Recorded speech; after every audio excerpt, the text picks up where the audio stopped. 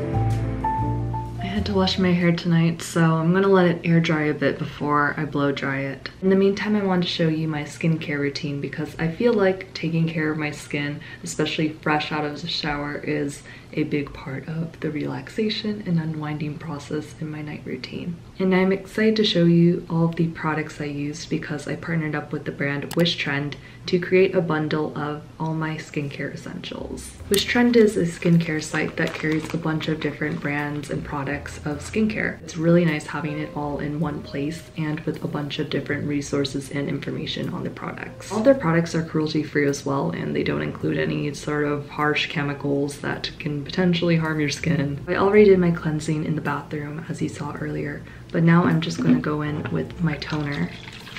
Give it a little shake and I like to use cotton pad for this. You can also use your hands as well. I think I'm gonna try using my hands more often once I run out of these cotton pads because that's a lot more wasteful. And I'm trying to be more conscious of making more eco-friendly choices in my day-to-day, -day, but as of now, I have all of these cotton pads that I still need to use up. After my face is toned, I like to use this vitamin C oil. And this is the Dear Klairs freshly juiced vitamin drop, and this stuff is amazing.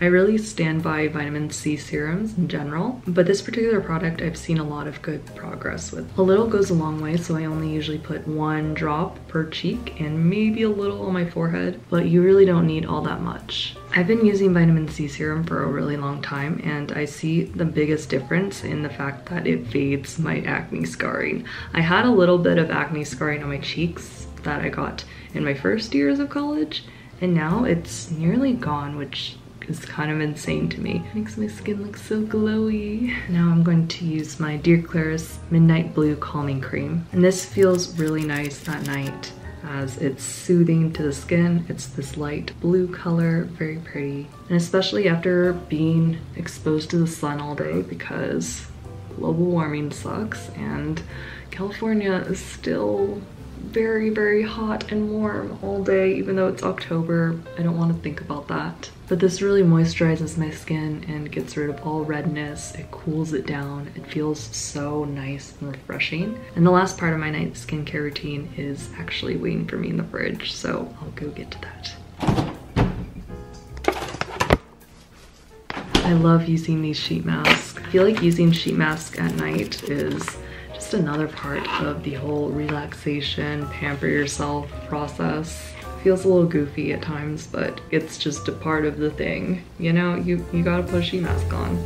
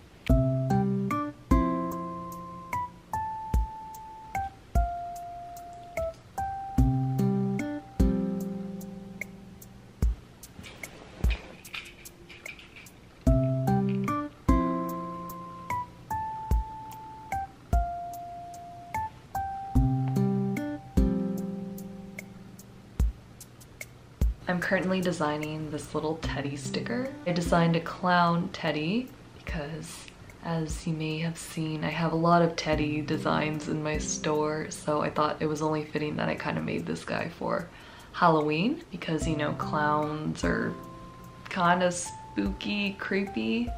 You know, the Halloween vibe. But I think he looks super cute. So planning to add this design to my shop when it reopens.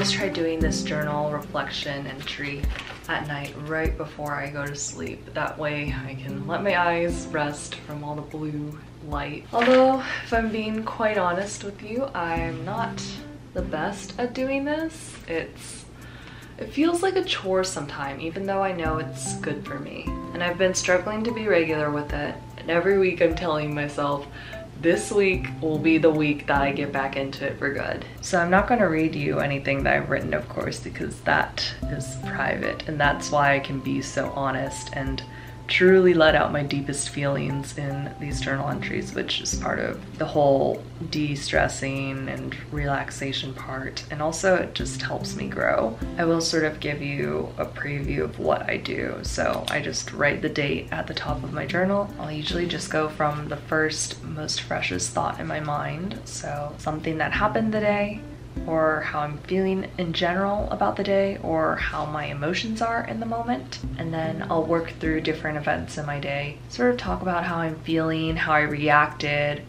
reflect on that. And from there, it just kind of generates ideas on its own. I have no problem filling a few pages, although I usually try limiting myself to one page a night. I could write a lot more. I'm an introverted person and even with friends and family, I'm not very outspoken about my feelings or what I'm thinking all the time, but I've always got a lot going on up here. This is essentially my captive audience where I can just let it all out. No judgment. I also did minor in writing in college, so I think that's just me.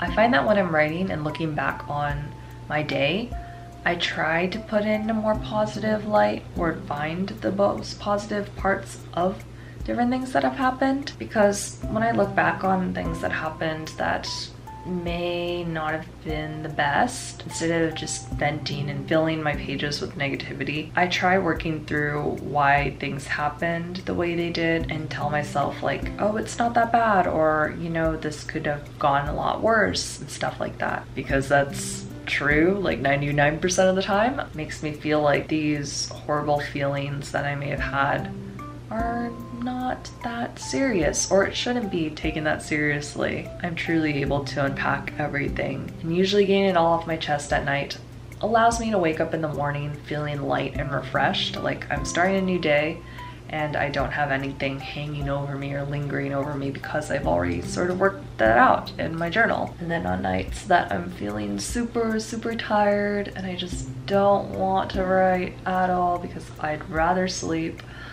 I just write a sentence or two. I try to. And that is my journaling process.